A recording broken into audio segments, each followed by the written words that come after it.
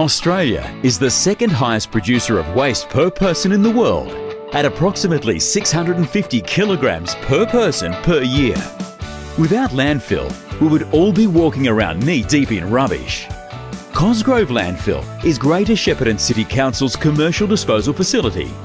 To minimise the environmental impact, the landfill site has required careful planning, time and money before it became a reality.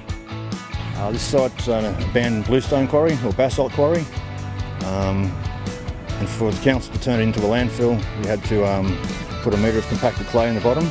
Uh, then it's got a fully plastic lined bottom as well, and a layer of bluestone railway ballast, and then it's got a layer of geofabric which just stops any um, silt um, going through into the leachate system. Work on a landfill site begins only after the site passes strict legal, environmental and engineering tests. In the old landfills, I used to put a clay cap on so no water penetrated through. And they found that um, letting some water go through helps promote the decomposition of the rubbish, which means it um, produces more gas, so we can um, capture that gas and generate electricity with it. So the leachate system's there, so when the water penetrates to the bottom, it um, goes into a well and gets pumped up to a evaporation pond where it just evaporates. The red lid bin is for your general household waste and is collected weekly. We pick up curbside waste bins. Um, we would run them out to the landfill, which is run by Shepparton Council.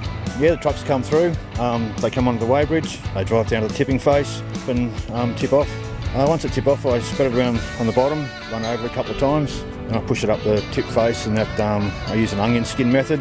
Your red lid bin should be used for all non-recyclable items, including disposable nappies, small broken household items, styrofoam and packaging. I still get a lot of uh, PET plastic bottles come through in the um, red lid bins, which obviously doesn't belong in there. I also get um, lawn clippings as well, and they um, spontaneously combust in the rubbish and sets my landfill on fire, and that's an environmental hazard, so uh, it really needs to go into the, into the green bin. Greater Shepparton City Council has invested in technologies to reduce material going to landfill to reduce our environmental impact. Population's growing, we're getting less rubbish, we're getting a good compaction rate, and um, puts us in the second in, the, in Victoria, so it's a good result for the community.